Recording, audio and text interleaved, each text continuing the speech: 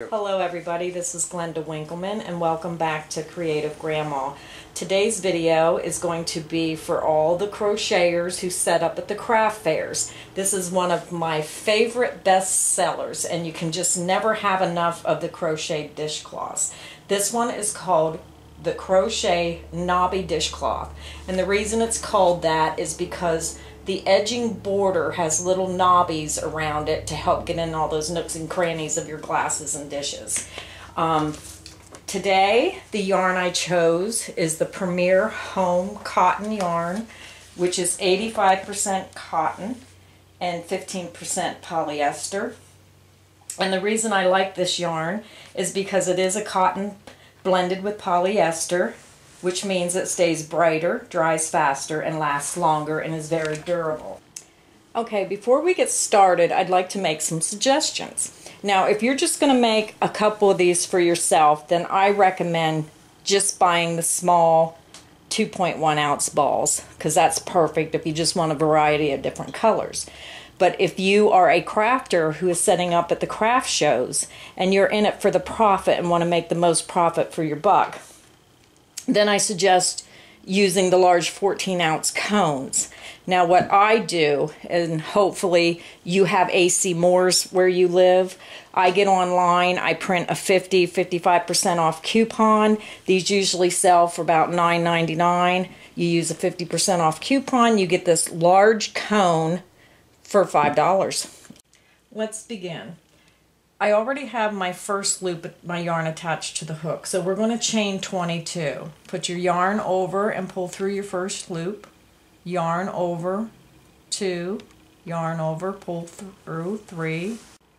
Okay, our foundation chain of 22 stitches has been completed. So now we're going to start row one.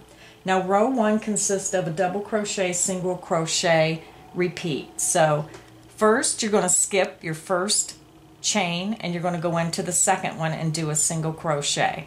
Now I do explain this in case you've never crocheted before. So um, put your hook in the second chain, your yarn over, pull it through, yarn over, and pull it through two. That is your single crochet.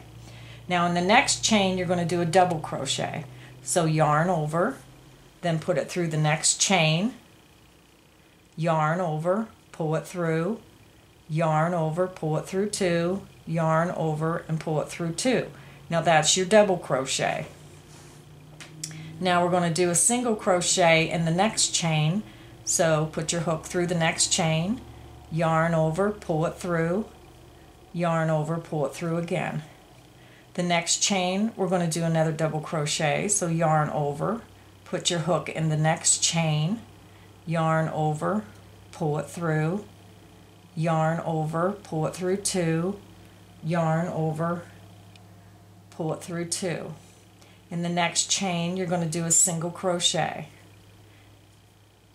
and pull it through. Now you're going to repeat this. Double crochet in the next chain, single crochet in the next chain, and repeat that clear over to the end where you end with a single crochet. Okay, row one is complete. As you see, we ended with a single crochet. So now we're going to begin row two row two, chain one, and then you're going to flip it and turn it. You're just going to turn it to the back. So this is the wrong side. Now you're going to do a single crochet in your beginning single crochet. So up here's your chain. Now there is a little thing here for people who've never crocheted before. Ignore that. You're going to go down here in this single crochet stitch here. So you're going to single crochet, and then this is a double crochet. You can tell the double crochet because it is higher than the other stitches. So you're going to do a single crochet in this double crochet. So go under the top two loops. I'm not sure if you can see, but always make sure you're under those two loops. And do pull your, yarn, your hook through, yarn over, and pull through. That's your second single crochet for the row. Now if you look, you have a single crochet here. So now you want to do a double crochet in that single crochet. And, and don't worry if I'm confusing you because I do have the instructions that are available at the end of this video. Okay, so yarn over, put your hook through that single crochet, yarn over, pull it through, yarn over, pull it through two, yarn over, pull it through two.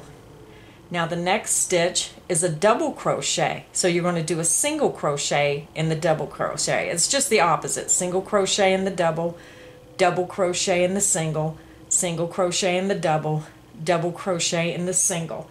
So you're going to work that same pattern across and you're going to end with a single crochet in the next to the last stitch which is a double crochet and a single crochet in the end single crochet. So I'm going to go ahead and crochet across and then I'll be back at the end of row two. Okay, now I'm at the end of row two. Now we're going to begin row three. Now this is a repeat of row two and three. So after we're done with row three, you should have the pattern down pat of how to do it. So we're going to go ahead and chain one and begin row three. So row three starts with a single crochet in the beginning single crochet, which is right here. So let's go ahead, yarn through the, or hook through the stitch, yarn over, pull through, yarn over, pull through. That's your beginning single crochet. Now the next stitch is a single crochet, so we want to do a the opposite of what the stitch we're going in is. So if that's a single, you're going to do a double. So double crochet, yarn over, put your hook through the single crochet, yarn over, pull through, yarn over, pull through two, yarn over, pull through two. And now you're going to do a single crochet in the next double crochet. So hook in through the next double crochet, yarn over, pull through, yarn over, pull through. So now you're going to repeat the double crochet in the next single crochet and single crochet in the next double crochet across and then you'll end up with a single crochet in the end single crochet. So let me skip ahead and finish row three. Okay, we're at the end of row three. So you're going to go ahead and chain one and then you're going to start row four. Now to start row four, what you're going to do is you're going to repeat row two and three nine times more for a total of 21 rows. So go ahead and begin your row four. And then when you get to the end of row 21, this is what it should look like. So at the end of row 21, do not fasten off and do not turn. You're going to start your border right away and you're going to start your border by working down the left hand side of the length and around the bottom of the foundation and up around the side and back across the top. So to begin the border, now if you're new to crocheting, just take it slow, watch the video if you have to watch it more than once. Just take your time. Once you get the hang of it, it'll be fun and you'll love making this design.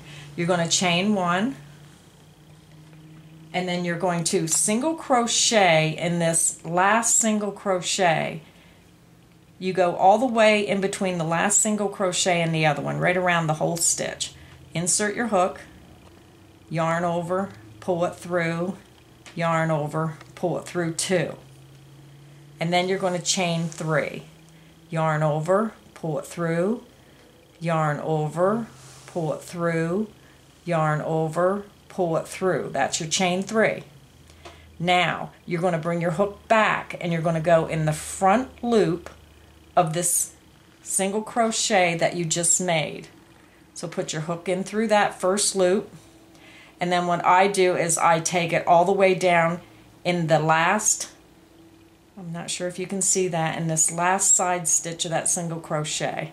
That way you're going through two different pieces of yarn. Yarn over and you pull it through all three. That's a slip stitch and that's what makes your knob, your little knobby. Okay.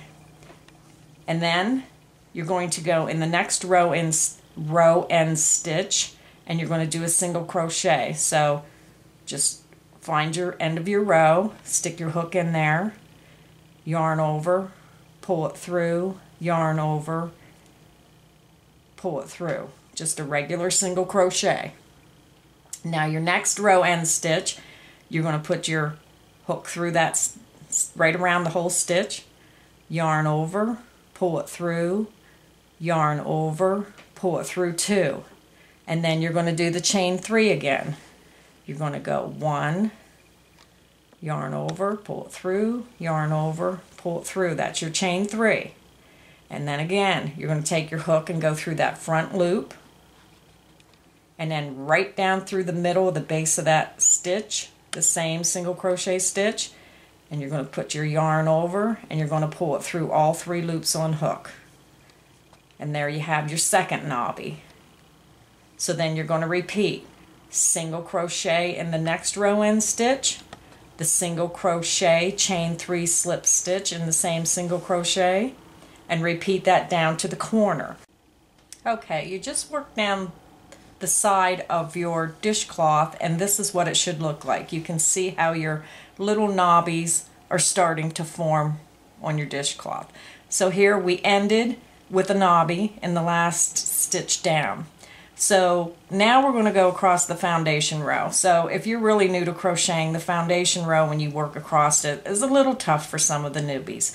So what I suggest to people is if you're not quite sure where the chain is, look for the base of the stitches. So right here would be your first chain going across. Now I do have that little bit of yarn from when I started the foundation chain, so I'm just going to hold that right against my work and I'll be working my stitches right over it. That weaves it right in. So go ahead and put your hook through that first chain, yarn over, pull it through, yarn over, pull it through again. That's your single crochet. Now we ended with a knobby, but we're also going to start with a knobby going across the base of the foundation chain. So go ahead and chain three, yarn over, pull it through, yarn over, pull it through, yarn over, pull it through. Then you're going to go in the front loop of that single crochet and right down through the center of the base and that. Yarn over, pull it through all three loops on the hook. Now this is the same procedure that you did down the side, it's just where you're putting your stitches. So like I said, if you can't figure out where the chains are, this is a double crochet. So just go right in the base of the next stitch. So that's basically where your chain is. So if that helps you, then that's how you should do it. So go ahead and single crochet in that next next chain, yarn over, pull it through. And then the next stitch, you're going to work your knobby, your single crochet knobby. Next stitch, single crochet. Next chain, the knobby. Next chain, single crochet. So let me work across that and I'll come back at the end of that row.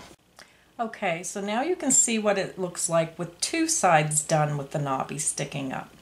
So what I'm going to do is just explain how to do the other two sides. Working down the length of this side will be exactly the same as I showed you when you work down this side. You will start with the single crochet knobby in the first row end stitch down the length. Then you will do a single crochet, a single crochet knobby, and then a single crochet in the next row end stitch, and you'll continue on down the line until you get to the last row end stitch, which will end with a single crochet knobby. And then when you get to that, you will see that then you actually can see your stitches here, the single and double crochet across. So you'll start with your single crochet knobby in the beginning single crochet, a single crochet in the double, a single crochet knobby in the single, a single crochet in the double, and work yourself across to the last stitch. When I finish this, I'll go ahead and do it and I'll come back and show you how to join. Okay, now all four sides are done and let me show you how to join your work. You're going to take your hook and come over here to your first single crochet that you started your border and insert your hook under under your chain three loop but in the top of the single crochet. Yarn over, pull it through that single crochet stitch and then pull it through the stitch on your hook. And then how I usually end is I chain two cut my yarn, just pull your hook up and then push, just pull it down like that, which creates a little bit of a knot. And then you're just going to flip it on the back and you're going to weave that in through the back of your stitches. And then that is your finished knobby dishcloth. And here is a close-up of the detailed instructions of what size hook, your gauge you need to do and uh, how much yarn you need. And if you like this video, Uh, please don't forget to subscribe to my channel.